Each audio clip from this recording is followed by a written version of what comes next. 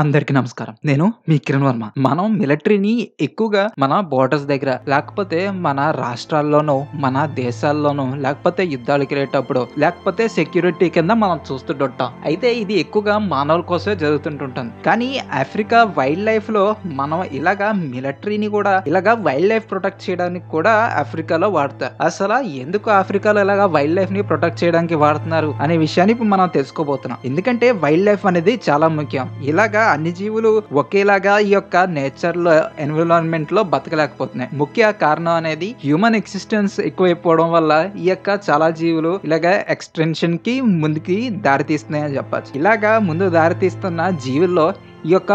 వీడియోని పూర్తిగా చూడాలనుకుంటే డిస్క్రిప్షన్ లో ఉన్న లింక్ ని ప్రెస్ చేసి మిగిలిన వీడియోని మీరు చూడగలరు ఈ వీడియో కనుక నచ్చినట్టయితే ఈ వీడియోని లైక్ చేయండి ఇలాంటి వీడియోలో మరికొని చూడాలనుకుంటే మా ఛానల్ ని సబ్స్క్రైబ్ చేయడం మాత్రం మరొక